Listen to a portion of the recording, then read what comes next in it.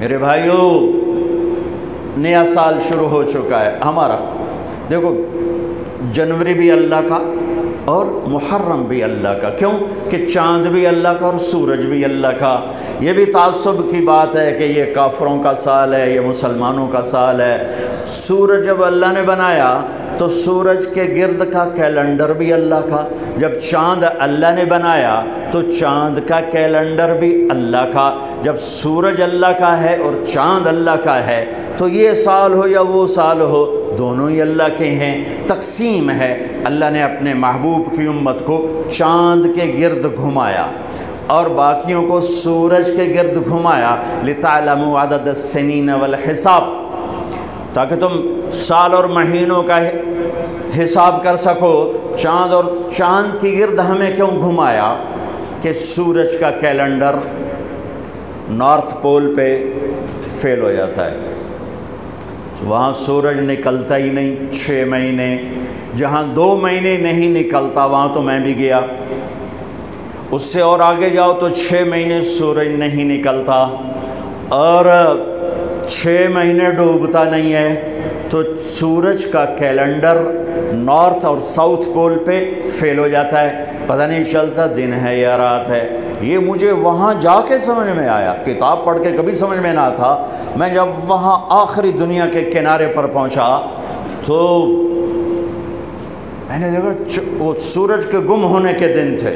सूरज के गुम होने के दिन थे। तो चाँद चमक रहा था, चाँद चमक रहा था तो मुझे पता चला कि अल्लाह ने मेरे नबी को चाँद का कैलेंडर क्यों दिया कि वहाँ छः महीने सूरज निकलता नहीं, फिर छः महीने डूबता नहीं, लेकिन वहाँ भी चाँद निकलता भी है, डूबता भी है, घटता भी है, बढ़ता भी है।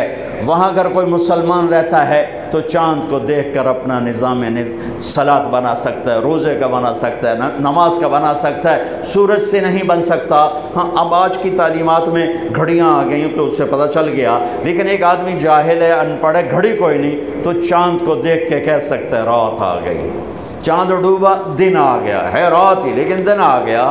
तो मेरे अल्लाह ने अपने महबूब को चाँद का कैलेंडर दिया, चूँकि आप लिलआलमीन है रहमत लिलआलमीन तो इसका तकाजा ये था कि दुनिया के जिस खत्े में मेरे नबी का उम्मत मौजूद हो, उसको नमाज़ के टाइम का पता हो, उसे कैलेंडर का पता हो, रोज़े का पता हो, इसलिए चाँद के गिरद घुमाया है। हमारा नया साल है, वो भी हमारा है, ये भी हमारा है।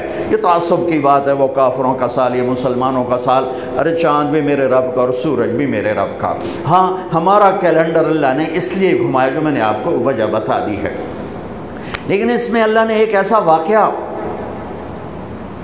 ये पहले भी हो सकता था कत्ल हुसैन और बाद में भी हो सकता था कत्ल हुसैन, लेकिन शुरू साल में ही अल्लाह ने इसको मुकर किया, तय किया कि जैसे एक रिवाज बन गया, साल नौ की तकरीब मनाना वो ना हो, बल्कि मज़ीद आखरत की याद हो। मज़ीद आँसू बहें। दुनिया में आज तक किसी वाक़ पर इतने आँसू नहीं बहे। तेरह सौ अठहत्तर साल हो चुके हैं। करबला के वाक़ को तेरह सौ अठहत्तर साल गुजर चुके हैं। कोई साल और आंसुओं से खाली नहीं गया।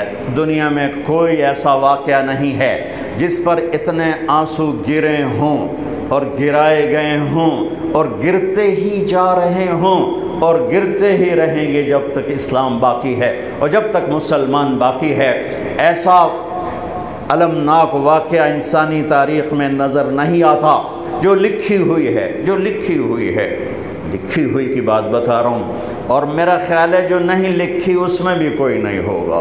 क्योंकि इंसानी तारीख़ में किसी नबी की नस्ल ऐसे ज़बा नहीं हुई। ऐसे मेरे नबी की नस्ल ज़बा हुई। नबी भी राज दुलारा, नबी भी हबीब, नबी भी लाडला।